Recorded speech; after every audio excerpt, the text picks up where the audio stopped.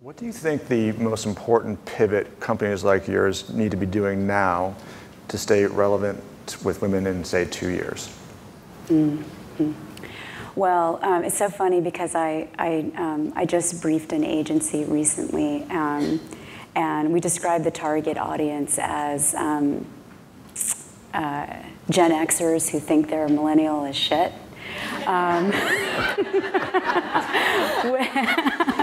Uh, with with a with a that's with that skewed um, it was you know dual gender but it's skewed female. And we had this big conversation uh, in the briefing about why we talked about it that way.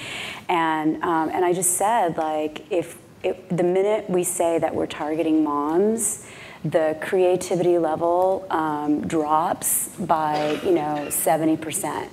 And you know and suddenly you know we're talking about uh, the granny panties and the khaki pants and there's a woman in the kitchen. And so i think that you know for us the opportunity really is is to kind of bust through the stereotypes of the way that we're portraying women um, in our marketing and also imagining them in our minds because um, I'm not a mother, but I would assume that for all the mothers in the room, the minute you become a mother doesn't mean you stop being a woman, it doesn't mean you stop being a person, it doesn't mean you stop being a human being. And I think that um, you know, our limited imaginations are serving up a, a lot of very narrow cast stereotypes around that.